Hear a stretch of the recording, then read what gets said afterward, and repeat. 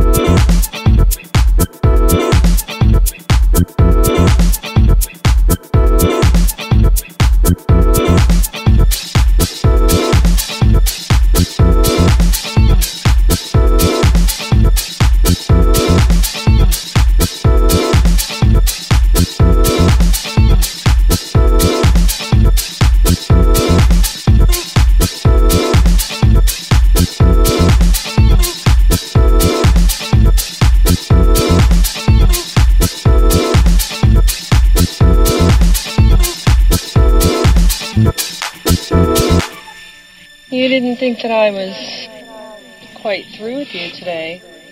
No, of course not. I've only just begun.